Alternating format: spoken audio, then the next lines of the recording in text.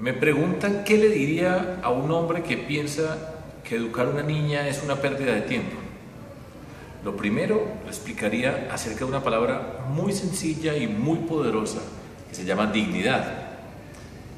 En los términos más simples, la dignidad reconoce que todas las personas somos igualmente valiosas. En particular, hombres y mujeres somos igualmente valiosos.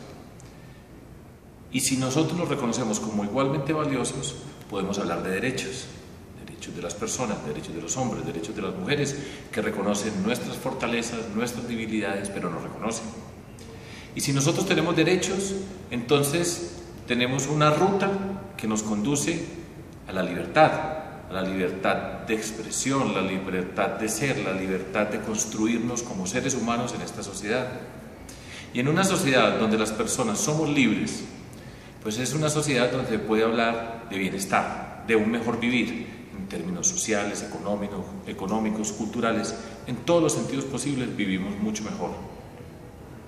Por lo tanto, para alcanzar ese vivir mejor, partiendo de, de la dignidad, hay, para mí, un vehículo, y ese vehículo se llama la educación. Si nosotros no educamos a una niña, no hacemos de nuestra sociedad una sociedad digna, no hacemos de nuestra sociedad una sociedad libre, no hacemos de nuestra sociedad una buena sociedad.